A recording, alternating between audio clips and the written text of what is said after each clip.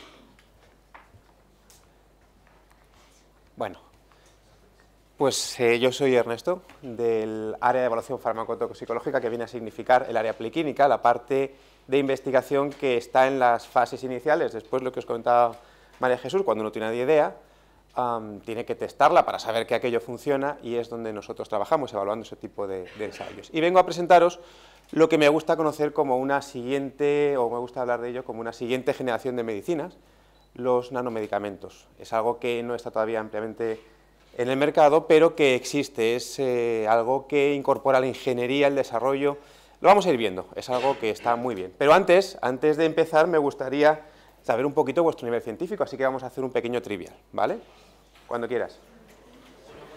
Sí, sí, esto es un examen en toda regla, lo llamamos trivial por aquello de hacerlo más ágil. Vamos a ver si sabéis distinguir entre científicos de verdad, de los de verdad, los alucinantes, y los de cine. Dale la primera, a ver qué tal. ¿Cuál es el de, el de verdad? Es el funcionamiento es igual, uno o dos, y tenéis que acertar cuál es el de verdad.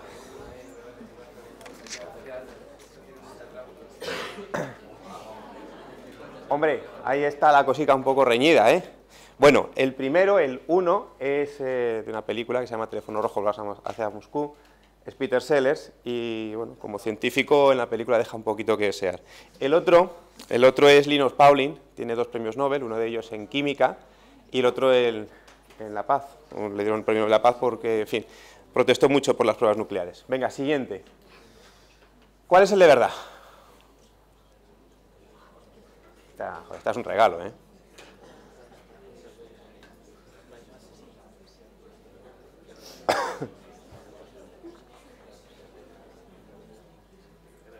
Joder, la cosa está casi peor que antes. Hombre, el primero es el doctor Frankenstein. Quiero decir, de la película El jovencito Frankenstein, es, en fin, Jane Wilder, eh, bueno, bueno, es un científico, sí. Y el segundo George Bardeen, tiene dos premios Nobel en física por su trabajo sobre la superconductividad. A ver si el tercero afinamos. Venga, que lo estáis haciendo muy bien. Este,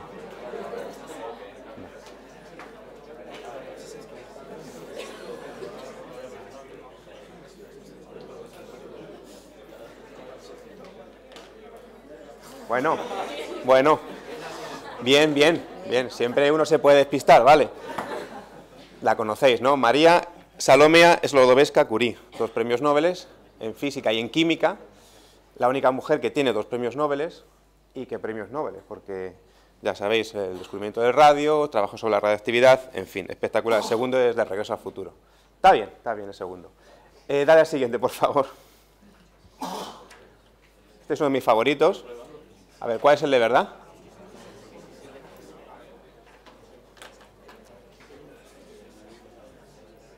Bueno, ahí, habéis puesto a punto el, el punto mira. El segundo es el Jeff Goldblum de la película La Mosca, curiosa película. Y el primero es eh, Sanger, tiene dos premios Nobel en química. Tela. Y me gusta presentarlo porque es uno, en fin, está bastante relacionado con el área de medicina. Eh, uno de ellos es por la estructura de las proteínas como la insulina. Y en segundo, segundo premio Nobel en los años 80 por sus trabajos eh, sobre la secuenciación. Secuencia de, ácidos nucleicos, perdón. Y vamos al quinto, que este es un regalo. Este tenéis que saberlo, o sea, 100%, no acepto menos. No acepto menos.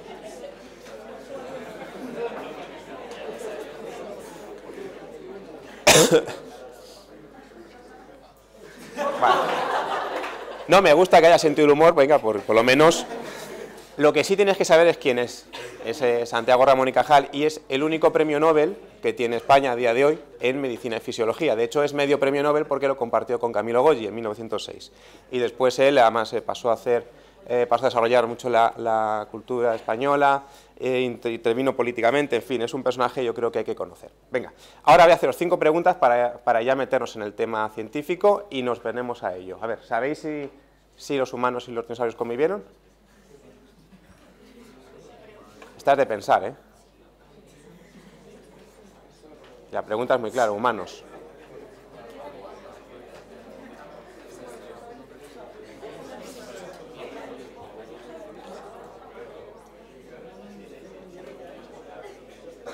Bueno, muy bien, muy bien. No, no convivieron, nada más que en las películas de Hollywood. De hecho, la única especie de mamífero fue un pequeño roedor que convivió con ellos y a partir del cual hemos, hemos llegado hoy aquí. Siguiente pregunta, por favor. Venga, esta es, eh, aquí, estando aquí hoy, habiendo escuchado lo que habéis escuchado, tenéis que contestarla al 100%. ¿Los antibióticos curan la gripe?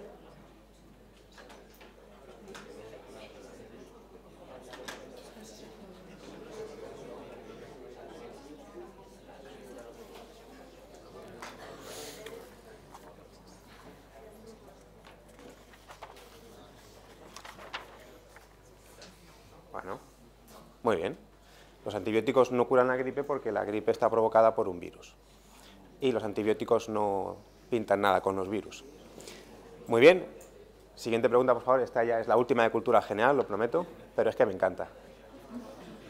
¿Quién fue Hipatia de Alejandría?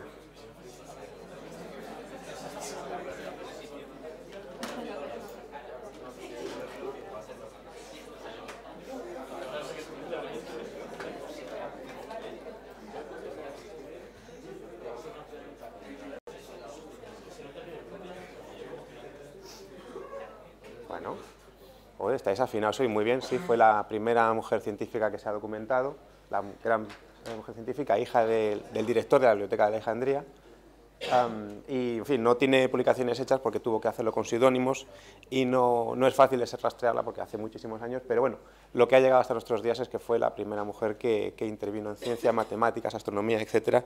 Y muy bien, muy bien. Vamos a empezar ahora ya con las dos preguntas de medicina, para, de medicinas, para saber si sabéis un poquito en el área que nos vamos a mover, por favor. Venga, ¿sabéis decirme qué es un medicamento? Porque es que si no, esto no tiene sentido. Dale, dale, cuando quieras.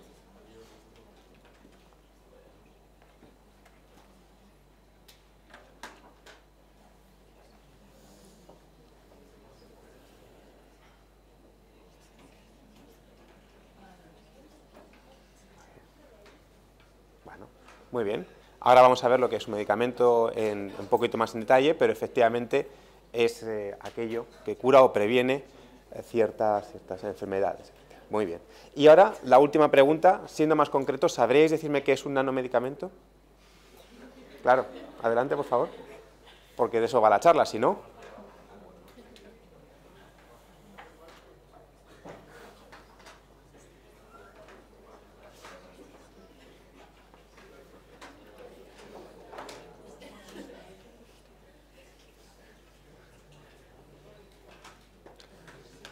Espectacular. Las cosas como son, pues lo habéis hecho muy bien. Eh, yo creo que lo habéis, lo entendido, la idea la habéis entendido muy bien.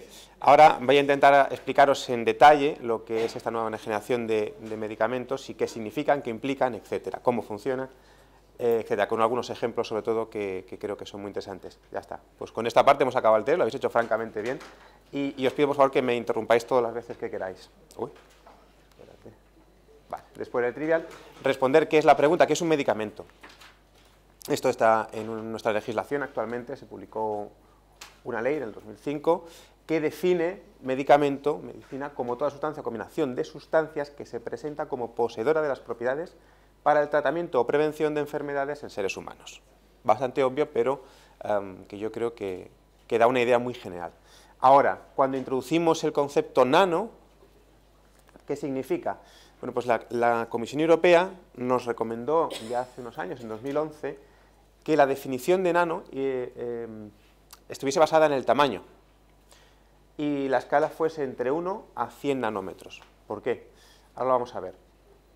Esto lo que nos implica es que eh, de 1 a 100 nanómetros lo que sucede, y yo entiendo que tenéis conocimientos de química y biología bastante, bastante amplios, eh, creo que podéis entender, es de 1 a 100 nanómetros la química se convierte en biología.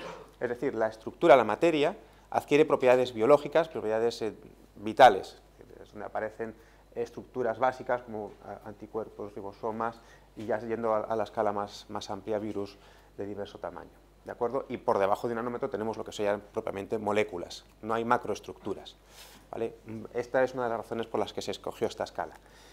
Para que tengamos una idea de lo que significa esta escala, eh, en la página web de nano.gov es de la página web de Estados Unidos, donde se recopila toda la investigación que están haciendo ah, y, a nivel mundial sobre este, este área nanotecnológica. Eh, nos pone un ejemplo muy bueno, yo creo que para que lo entendáis, si tenemos, partimos de la base de una, de nanopartícula, de un nanómetro de diámetro, un nanotubo, y lo multiplicamos por 100.000 tendríamos un capilar. Eh, pero si lo multiplicamos ahora por 100.000 tendríamos el diámetro, la longitud de una, casa estándar. yo creo que, para que veáis, por claro, esto hay que hacerlo al revés, veáis el tamaño en el que estamos midiéndonos. Es, eh, por eso esta, esta, generación de medicamentos no aparece hasta hace relativamente poco, porque la ingeniería química necesaria ha costado muchos años en desarrollarse. También si tomamos una nanopartícula, creo que esta era también de carbono, y la multiplicamos por un millón tendríamos una hormiga, y un millón más sería un, pues, el, Speedway, el, bueno, el circuito de velocidad de Indianápolis, para que hagáis los cálculos a la inversa, tenemos que dividir entre un millón de veces para obtener una hormiga y un millón de veces para obtener esta nanopartícula. ¿Pero qué es realmente? Cuando hablamos de nanopartículas, ¿qué queremos decir? Bueno, pues lo que hablamos es de una síntesis, una ingeniería química que produce diversas eh, eh, estructuras a nivel eh, nanomolecular. Pueden ser esféricas, Pueden ser eh, de diversas formas, como esta que es un vasito, voy a presentaros estas dos, luego unos ejemplos, pero pueden ser muchísimo más amplias. Hay diversidad, una diversidad enorme de, tamaños, formas y, estructuras químicas. No es algo homogéneo, ¿de acuerdo? Es uno de los problemas que hay también a la hora de, de atacar este tipo de productos porque cada uno es de su padre y de su madre, si lo preferís así.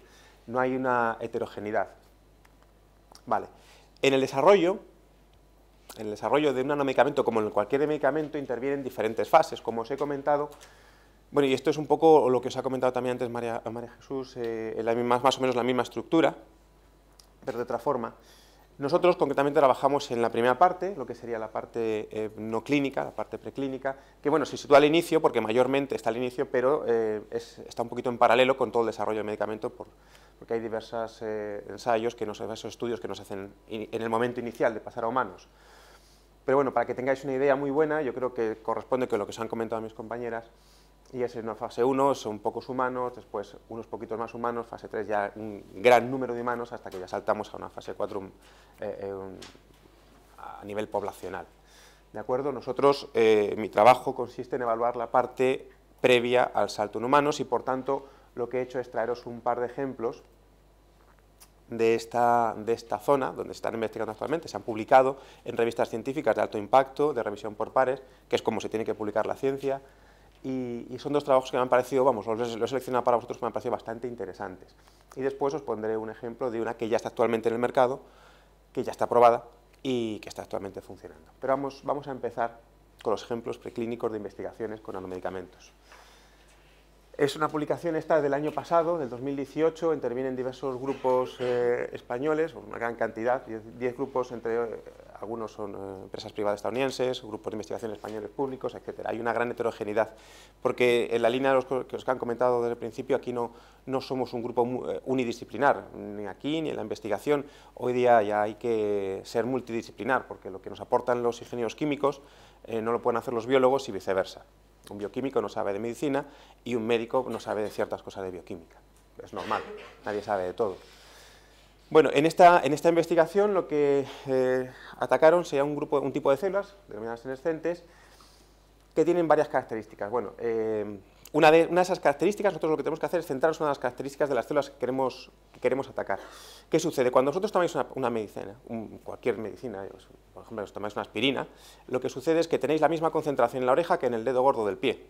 ¿De acuerdo? Y a lo mejor lo que os duele es el codo esta forma de entender, eh, lo que quiero eh, expresaros es que el medicamento se distribuye de manera homogénea, no hay una, no hay una pauta donde queramos, donde se va a dirigir, por mucho que te duela una cosa, tú te lo tomas y se distribuye de manera homogénea.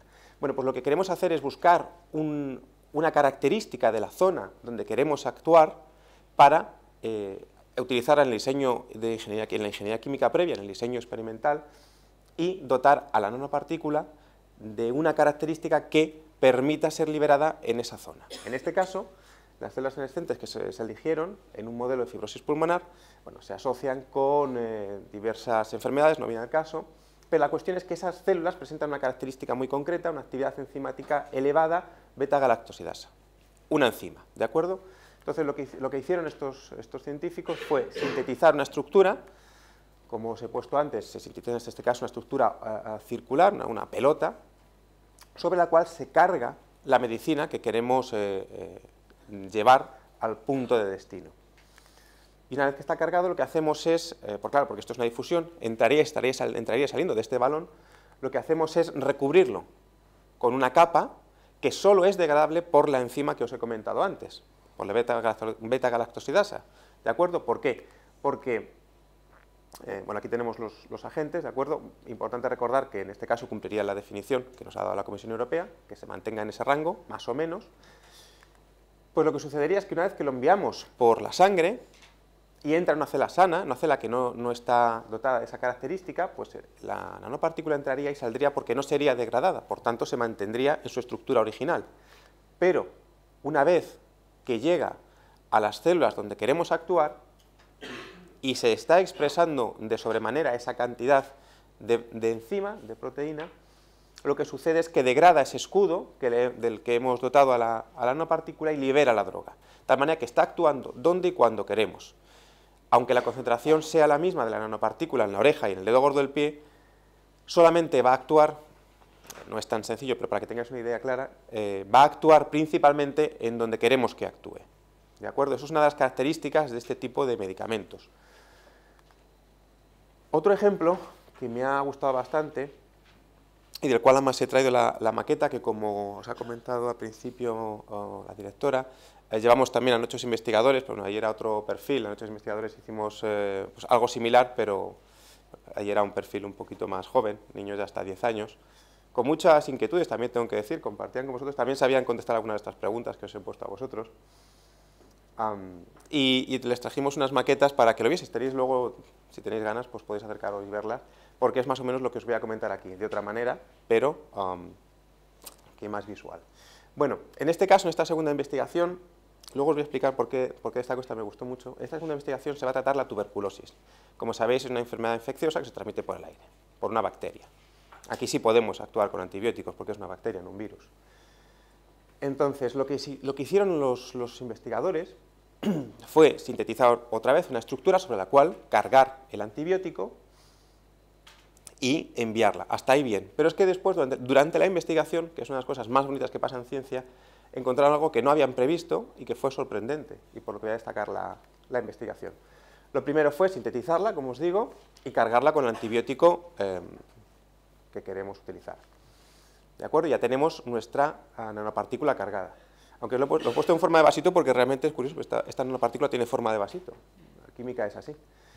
Bueno, para que entendamos la patología, estos son los pulmones, donde se centra la infección, es el tallo de la infección, y estos pequeños, estas pequeñas células son macrófagos residentes en los alvéolos pulmonares. Es decir, es la parte del sistema inmune que va a estar siempre pendiente de lo que sucede en los pulmones, porque como podéis imaginaros es una zona de contacto con el exterior muy, eh, muy amplia, entonces está entrando y saliendo cosas, están entrando todo tipo de, partículas del exterior. Entonces tiene que haber un sistema, un sistema inmune un poquito más especializado, un poquito más em, pendiente de lo que pasa ahí. Y el problema con esta, con esta infección en concreto es que eh, es capaz de introducirse por los pulmones y quedarse de manera residente en estos macrófagos. Es decir, se introduce a través de una estructura de membrana que contiene colesterol, ¿de acuerdo? No voy a entrar en detalles, y concretamente eh, aprovecha esa estructura como una, llave y una cerradura, es como si la, bacteria tuviese la, la, guerra evolutiva que representa las infecciones, ha desarrollado la capacidad de robarle la llave a los macrófagos e introducirse dentro de manera que se queda de residente, con lo cual es muy difícil de erradicar esta infección.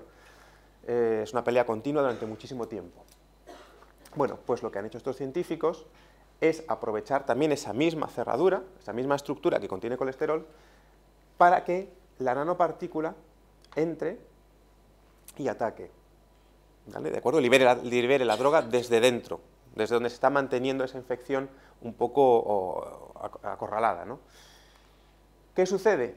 Y esto es lo que encontraron, que me ha encantado, que quiero destacaros. Se, encontraron, durante las pruebas, durante los test, encontraron que esta nanopartícula no solo es capaz de transportar la droga donde queremos y cuando queremos, sino que la estructura que habían sintetizado per se era capaz de inhibir la infección porque robaba la estructura, como si robase la llave de la puerta, e impedía que la bacteria entrase dentro del macrófago, de tal manera que no podían hacerse fuertes y era más fácilmente atacable. Es algo curiosísimo, porque es de los pocos casos, se están dando algunos casos de al sintetizar estos materiales, tienen efectos por sí mismos. Luego hay otra cosa que se denomina block copolímeros que, también presentan actividad por sí mismos. Pero bueno, a día de hoy todavía esto va a costar llevarlo, trasladarlo a, un medicamento para humanos, pero se hará, yo creo que con el tiempo se hará, y lo veréis vosotros. Bueno, en más en detalle, que veáis, es la, nanopartícula cargada, entra a través de esta llave y ataca directamente, libera directamente antibióticos sobre las, bacterias. Pero, en paralelo, es capaz de robar la llave de la manera que impide la entrada de eh, bacterias. Digamos que ataca la, infección de dos maneras diferentes. Y esta segunda parte, según comentan ellos en el artículo, no se ha previsto. Ahora voy a saltar un poquito al, ejemplo que os comentaba, desde hasta en la calle, se denomina Braxane, es un compuesto que lo que se ha hecho, aquí la, ingeniería química es más sencilla, pero no deja de ser eh, interesante, lo que se ha hecho es montar, literalmente, como si montas a caballo, montar sobre una proteína, que se denomina albúmina, un, un medicamento, concretamente para ciertos tumores, de tal manera que es más fácil de, inyectar, porque antes costaba mucho diluirlo, era un compuesto poco soluble, en fin, tenía unas complejidades asociadas que se ha eliminado con, este, con este formato, con esta forma. ¿Qué hace este compuesto? Pues básicamente lo que hace es bloquear las células en división, que yo entiendo que ya tenéis un conocimiento amplio de lo que es eh, la división celular, pues usted se dedica a ello. Y sabéis, los tumores, unas características de las muchísimas que tiene es que se divide a, toda pastilla. Se divide muchísimo, por tanto bloquearlo es una forma de atacar eh, los tumores. El compuesto por sí mismo está eh, comercializado desde los años, desde, el año 93, pero esta forma eh, se, comercializa en el año 2009. O sea, fijaros lo que cuesta, no es algo, no es un paso inmediato, por mucho que os lo cuente aquí, sea más o menos asequible, es algo, es un procedimiento, es un proceso muy complicado. complicado. Bueno, eh, en este caso, pues, la, partícula, el compuesto, lo que es el, nanomedicamento en sí mismo, es el, el, del medicamento más la, proteína albúmina, que lo que os digo es pues mejora eh, la solubilidad y facilita la inyectabilidad. Entonces se ha demostrado que quimioterapia es más eficaz con el cáncer de mama metastático y en combinación con otras quimioterapias aumenta la supervivencia en pacientes eh, de páncreas metastático. Bueno, en resumen, lo que hace es que funciona mucho mejor. Y para acabar, os quiero poner otro vídeo dejando un poco lo que es esto a las pistas para, para el futuro, de lo que puede ser. La naturaleza ha dotado a nuestra sangre de poderosas defensas contra las enfermedades, pero estas son incapaces de protegernos por completo. Nuestro cuerpo sufre una amenaza constante. El cáncer ataca a una de cada tres personas el debilitamiento óseo arruina millones de vidas. Imaginen que pudiéramos borrar de nuestros cuerpos esa amenaza constante. Podremos detectar, diagnosticar y tratar la enfermedad, pero la detectaremos antes de que se convierta en enfermedad. La NASA dirige su mirada a una nueva frontera, el interior del cuerpo humano. Investigadores pioneros están desarrollando una revolucionaria tecnología, robots médicos más pequeños que las células de nuestra sangre. La mayoría de las enfermedades que padecemos hoy serán tratables, desaparecerán. Máquinas microscópicas patrullarán nuestro cuerpo y erradicarán las enfermedades. La ciencia ficción se convertirá en auténtica ciencia y el mundo, tal y como lo conocemos, cambiará para siempre. Un viaje alucinante. Microrobots médicos. Pues muchas gracias a todos por vuestra atención y si tenéis alguna pregunta...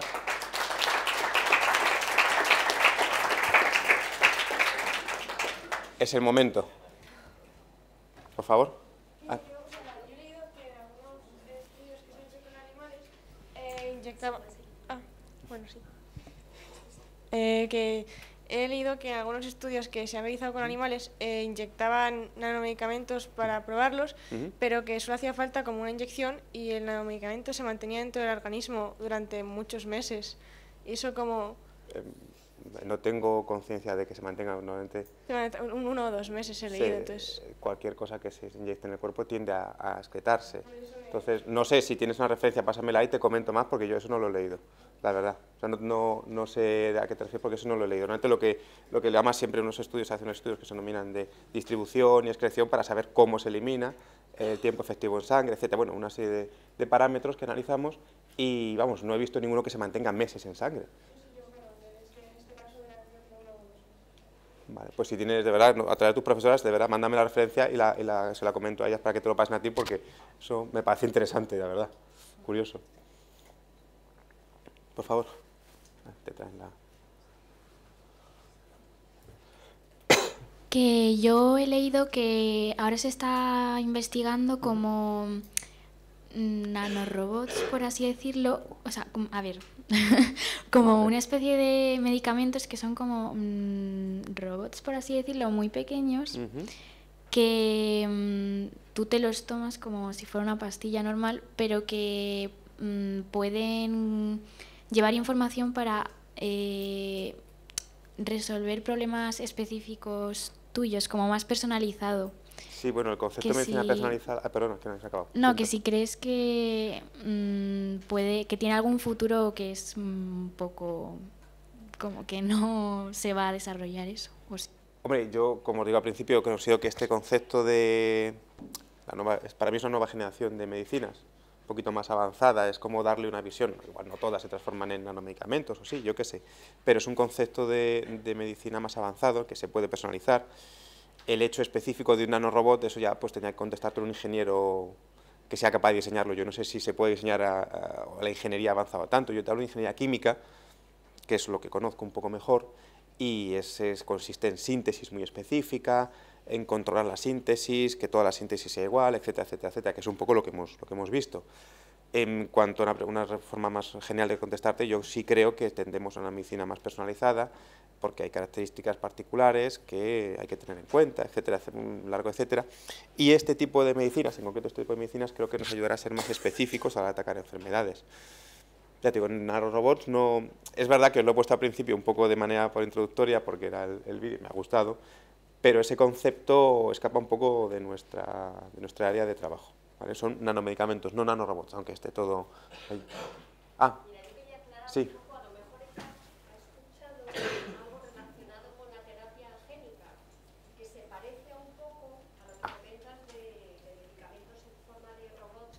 Y una de las, esto está evolucionando muchísimo. Sí. Seguramente, pues vosotros cuando ya lleguéis a la universidad, ¡buf! esto estará mucho más avanzado y haya medicamentos ya en el mercado, eh, pues con esto. Por ejemplo, y se llama medicamentos de terapia génica, que lo que hacen es modifican, utilizan, por ejemplo, algún virus, virus que le, le cambia la información, eh, le, le hacen que no sea infectivo, que no sea, que no funcione, que no actúe como virus, y le meten determinada información, que seguramente sea lo que tú hayas leído, para que llegue al tumor y ahí actúe, para que llegue a la célula específica tumoral y no provoque toxicidad pues a nivel general. Y bueno, pues eso es un campo precioso para vosotros, que estáis ahora empezando y que va a suponer una, un cambio muy importante en, en este área aparte de lo que os está comentando Ernesto, que es nanomedicamentos, ¿vale? O sea, que sepáis que es que esto es un mundo fantástico y, y que queda mucho por explorar.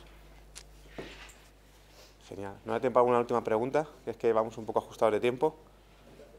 ¿No? Bueno, pues entonces muchas gracias. Ah, sí, ¿no? ¿No ibas a preguntar nada? Vale, pues muchas gracias por vuestra atención.